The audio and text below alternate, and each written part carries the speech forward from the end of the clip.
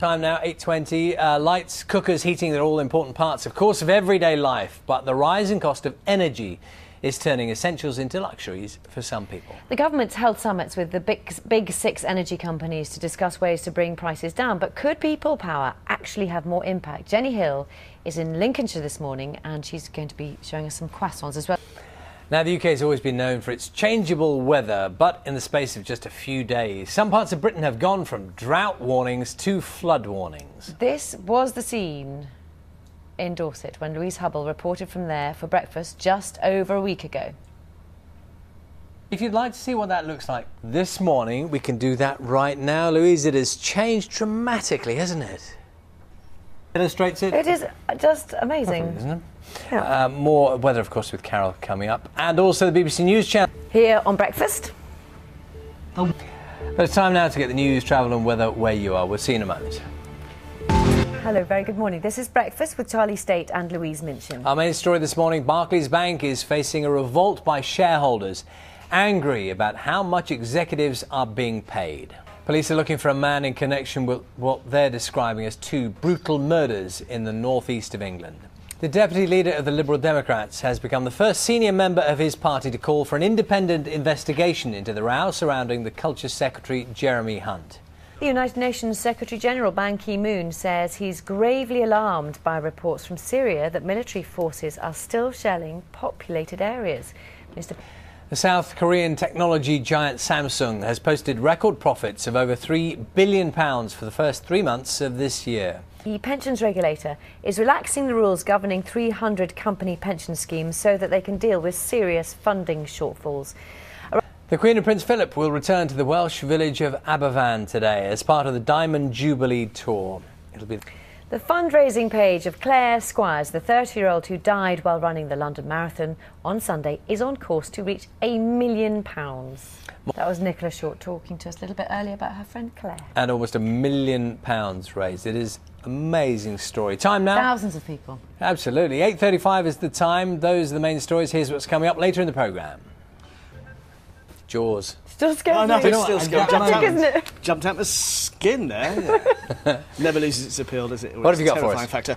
Well, it's actually quite a relief that we're not going to spend the whole weekend asking, will they, won't they? I just remember the build up to the Luis Suarez Patrice Evra meeting on the pitch when Suarez snubbed the hand of Evra, and of course the headlines that generated, everyone forgets the game, what happened, because they're all talking about this handshake. I know the John Terry Anton Ferdinand case is completely separate, still ongoing, but uh, the sting's been taken out of it really because there'll be no handshake whatsoever which is a bit of a relief for all around us. Working on the bins as dustman in the East End, and then the call comes, you're in the squad. Get it's to an Melbourne. amazing story, isn't it? And yeah. you know for sure that kind of thing doesn't happen anymore. Not, it won't happen again, will it? Can't possibly. No. And the thing is, he didn't get a, an honour, an award, like of course gold medalists tend to do now, until 2002. I suppose in those days it wasn't seem like for a, a dustman apparently to get a, an honour, which had to change, and thankfully it did.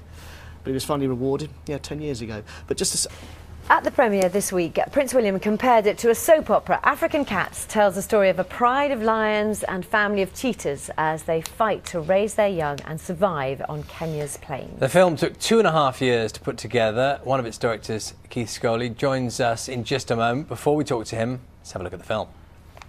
We are used now, aren't we, to amazing photography in connection with wildlife. Mm. The BBC does these incredible series, which I know is your background. Yeah.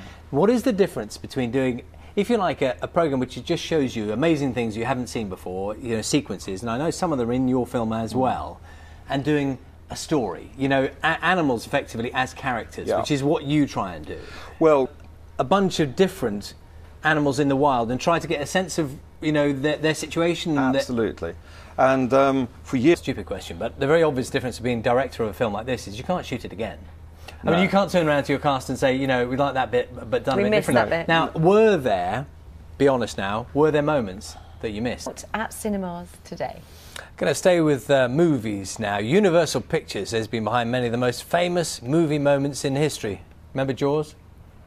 Jaws. yes. Oh, that now. Uh, Universal Studios made, of course, Jaws, King Kong, Schindler's List, Apollo 13, Psycho. We could go on and so on. So many films. Uh, now the Hollywood studio is celebrating a century of filmmaking, so our LA correspondent Peter Bowes has been taking a look at how things have changed over the years. Oh, some fantastic movies there. They were, weren't they? Uh, it's our last look at the weather now. Carol's there with us this morning. How's it looking for the weekend, Carol? Uh, the reason we're talking about this uh, is that lots of people want quick meals these days, but a new survey suggests lots of young people struggle to cook even the most simple foods. Mm-hmm. Our reporter Charlotte Leeming's at a cookery school in Cheshire this morning where the students have been going back to basics. They've made scrambled eggs. Don't know what they're Anybody saying. can burn toast. It happens to the best of us. Yeah, it happens. It happens. Well done. It's like watching Saturday Kitchen. exactly. Sort Uh, anyway, uh, so the uh, Christmas tale of Scrooge and the Sunshine of Thailand couldn't be more different, but both inspired the songs of our next guests. The British band Honey Rider spent a month on the beach writing their second album. Lindsay, Jason, and Matt. And all here. Good morning. Good morning. How are you all? Great. This we're is- here. We're on the sofa. This is your kind of world, isn't it? Can I just ask? Because you used to work in television. I didn't you? did. I was. There's various names for what I used to do. I was a script supervisor or a gallery P- PA. whatever. Right. They call it. Of what's going on because you were being very I curious talk. just yeah, now. I talk in your ears and tell you to shut up. Yeah, that's right. it's quite but not of today. Not yeah, no. today. Keep okay. going. Keep going. Rider, because if anybody Googles Honey Rider, it's a, it's a James Bond character, isn't it? Yeah, She first- was very famous. Yeah, it was. Uh, The leading Jason that some of it written in different places. Is that how? So we said some of it written on the beach. Yes. Can yes. you can you literally discern the Yes. difference from the? This morning, You said the I? same I said thing, Stevie didn't you? Nicks. That's exactly what it reminded me of. oh, that's a compliment. Thank Well, you. that can't be a bad thing. I, I'd can like it? to sell as many albums as they have. Yeah, that'd be nice. Yeah. Um, and Marley's Chains, it's what? It's a Dickens reference, is it? It is. It's a reference. followed you over time We'll know that. Yes. So how how do you see those changes? Um, well, we, we, I wrote the first album with a very good friend of mine called Martin Schoen, and he was in the band. The, the album's out now. Are you going to tour it as well? Are you going? How's, how's that? How does that work with gigging with a small child as well? Is that? Well, I do that thing. Uh, Honey Rider's single Marley's Chains is out on Monday. The album is going to be out in July. Time now 9.04. In a few moments, Tony Robertson will be with us, talking to him about his new project, uh, writing history books for children. First, though, here's a quick look at what is happening where you are.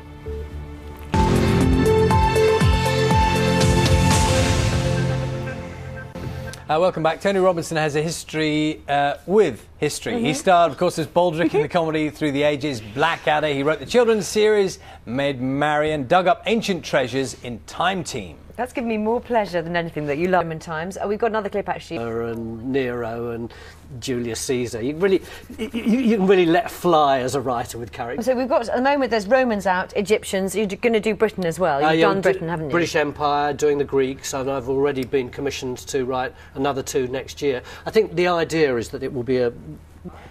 I suppose as far as, as far as British history is con- concerned, the, the time that I really want to do is King Alfred the Great, when Britain, when it, Both out now, the Romans and the Egyptians at this and try the game online. game. And we will see you tomorrow morning on breakfast. Thanks very much for joining us. Goodbye.